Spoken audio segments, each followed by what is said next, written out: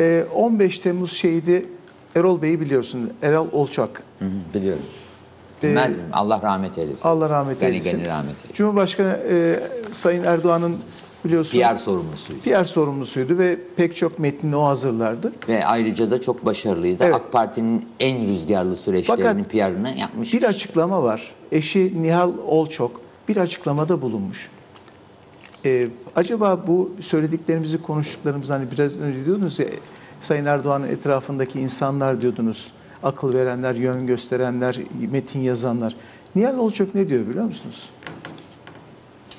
Erdoğan'ın şu günlerde kullandığı siyaset dilinde Erol Bey'in yokluğu çok belli diyor. Ya. Ya. Cumhurbaşkanımız Ve biliyorsunuz devam ediyor. cenazesini Bakın. hüngür hüngür ağlamıştı. Devam ediyor. Diyor ki kucaklayıcı bir dile sahip olduğunu, eşinin AKP e, AK Parti reklam kampanyalarında kucaklayıcı bir dile sahip olduğunu belirtirken iktidar partisi tarafından kullanılan dilin toplumsal kutuplaşmaya neden olduğunu dikkat çekti. diyor. Ya. Ve devam ediyor. Nihal Olçok söz konusu temaların aşk ve sevda temalarını biliyorsunuz bu İstanbul e, Belediye Başkanlığı seçiminde de aşk ve sevda tema- temaları vardı. Eşi Erol Olçok tarafından eskiden reddedildiğini aktardı diyor. Nihal Olçok billboardlarda gördüğüm o dil aşktı ve ilk yorumum aşk yakıcıdır oldu. Aşk kendi içinde yakıcıdır. Aşk çok büyük imtihanları beraberinde getirir. Yüzde yüz taraf olmayı gerektirir. Aşıksanız aşkınızın hatasını görmezsiniz. Her şey muhteşemdir. 2-3 kere çalışılmıştı ama Erol Bey çok uzak durmuştur o kavramdan. Demek ki geçmişte de aşk ve sevda temaları geldi. Erol Bey dedi ki aman dursun biz bunları kullanmayalım dedi. Ama bu şeyde seçimlerde kullanıldı biliyorsunuz. Burada e, Nihal- Kullanıldı ama şöyle bir şey var Savaş. Buraya müdahil olmam Evet. lazım hemen diye. Kullanıldı ama o söylemler yerine getirilmedi. Bu daha tehlikeli. Hem orada sevda hem orada aşkı anlatıyorsunuz. Çok güzel. Cumhurbaşkanımız da onayladı. Sonra ara gazı veriyorsunuz. Cumhurbaşkanımızı geriyorsunuz. Yani etrafını düşünsene benim etrafımdaki e, bir sürü çalışan arkadaşımız var. Hepsi bana bir şeyler söylüyor ve etkim altında kalıyor. Bazen sıyırıyorum. Laptoplar iniyor, telefonlar iniyor, bilmem neler iniyor. Ben yani Cumhurbaşkanının milyonda bir yaşadığı sıkıntıları ve ara gazını yaşıyorum. E düşünsenize hiçbir televizyon izlemeyen, yapacağı hiçbir şeye bakamayan, sosyal medyaya ilgilenmeyen, her programı dolu, uyumaya vakit bulamayan bir adamı ancak etrafındaki insanlar bilgilendirmek zorunda. Doğru mu? Yanlış Doğru. bilgi, Doğru. yanlış bilgi insanı gelebilir, lanet okutturabilir, agresif hale getirebilir. O agresif halinden ne olacak?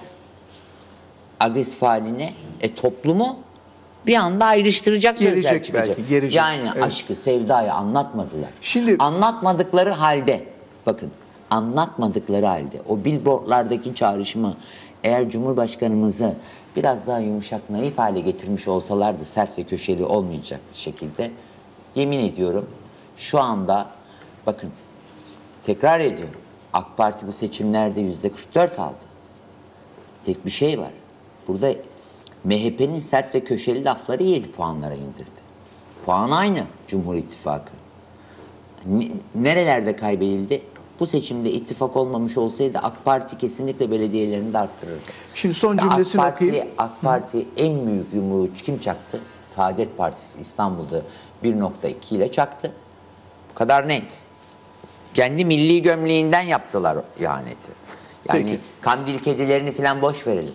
Kandil kedisi de olsa, kandil köpeği de olsa lütfen demiyorsunuz. Köpek demiyorum. Köpek lafı demiyorsunuz. Köpek dem. E, Yani- yani bu kadar şöyle, köpeğin için bir şey söyleyeceğim. şöyle, bu biz- kadar itin köpeğin içerisinde hayır, de bakın, biz bu programda şey- ben başka temiz- bir şey söyleyeyim. Temiz bir dil Hayvan kullanmak şimdi zorundayız. düşün ki bizim programımız evcil hayvanlar programı olduğunu Tamam orada düşünelim. konuşabilirsiniz. Tamam ben de şimdi bunları evcilleştirmek için hayvan muamelesi yapmak istemiyorum. Pekala, Yani örneklerimi de okuyayım. şöyle. Çünkü fazla zamanımız şunu yok. Diğer söylemek diğer istiyorum. konuları da İtle- görmemiz de itle, köpekle gerekiyor. uğraşmaktan kurt az kaldığından dolayı Cumhurbaşkanına da kendi de kurt olduğundan dolayı onun için etrafındaki insanlar ne yapıyor? Türklükle ilgili besleme yapıyor. Keşke bunları hoşgörüyle yapsalar da Bir tane kurt, kurdumuz var elimizde hiç olmazsa biz de onu değerlendirsek. Dün e, Bu kadar net yani. Cemal Engin Yurt'un ulumasını vermiştik ya. Ben- beni hiç rahatsız MHP Genel etmedi. Başkanı bir açıklamada bulundu. Dedi ki eğer siz dedi Tanrı Dağları'na giderseniz ulumak zorunda kalırsınız dedi. Orası muhteşem bir yerdir Ya. dedi. Öyle bir e, Sahip çıktı değil mi? Sahip çıktı. Doğru. Tabii, çıkmaz mı? Şimdi Nihal Olçoğ'un son cümlesinde şöyle diyor. Diyor ki 15 Temmuz'da Türkiye'de çok büyük bir zelzele olduğuna inanıyorum. Türkiye sarsıldı. Benim ve benim gibi bir sürü insanın ocağı yıkıldı. Bir enkaz bir, ve bir kayıp vardı. O gece zelzele oldu ve sancı başladı. Toplumsal kenetlenme 10 ila 15 gün sürdü. Sonra toplum aslında rücu etti. 15 Temmuz bir müddet bizi bağladı. Çünkü 3-4 ay. biz bir Süreç müddet 3-4 ay. biz bir felaket anında krizlerde birbirine kenetlenen toplumlarız. 99. Bu bizim etnik kaderimiz 90 diyor. 99 depreminde de öyleydi. Darbede de öyle oldu. Herhangi bir şekilde yurt dışından gel, dış mihraklardan gelecek bir şeyde de böyleydi. Kıbrıs Barış Bizim kanımızda- Harekatı'nda da öyle tabii oldu kanımız biliyorsun. da öyle bizim. Sağcılarla solcular birleşti. Aşığım ben. 80 milyon Askere gitmek tamamına için. aşık. İşte ondan aşığım ya. Sevdalıyım ben ülkeme toplam. Mesela bana küfür ediyorlar bazen. Dozunu kaçırmazlarsa iyi bir şeyler yazmaya çalışıyorum. Sonra bir saydırıyorum. O zaman diyor ki lan bunları niye yapıyorsun diyorum. Son 5 son 5 dakikamız Tamam, var. peki. Son 5 dakikamız var. Ee,